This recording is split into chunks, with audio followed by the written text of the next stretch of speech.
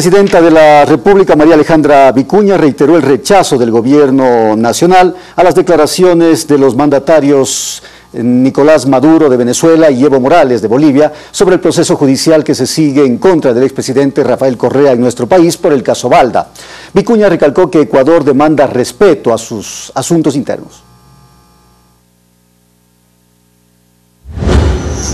Declaraciones de Nicolás Maduro y Evo Morales sobre proceso judicial a expresidente Rafael Correa. Que nuestro gobierno demanda reciprocidad no solo a Venezuela, sino también a Bolivia, de que, de que no exista obviamente interferencia en asuntos internos, pero más que asuntos internos, en expresiones que obviamente...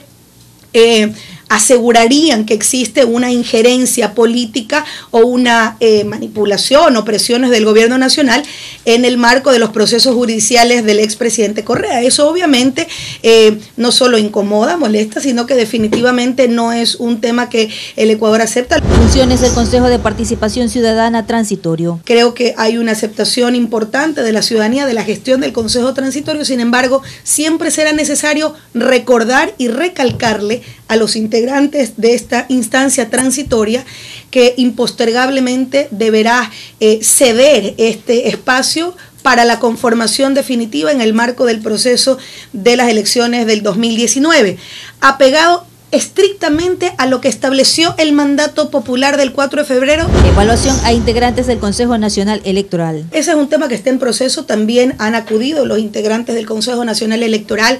Eh, me parece sin dudas que debe de ser reemplazados como todas las instancias. Debe existir un proceso de concurso que permita eh, el reemplazo correspondiente. Eh, no debería caber otra figura para para aquello. Visita de misión del FMI al Ecuador. Y hay una, eh, un blindaje constitucional para algunos temas que probablemente eh, muchos años atrás la política del Fondo Monetario Internacional no ha sido precisamente la de eh, respetar las decisiones soberanas de los países. Creo que eso ha empezado a cambiar y sobre todo dejando muy claro que la política del Ecuador va en esa línea. Marta Navarrete, Telerama Noticias.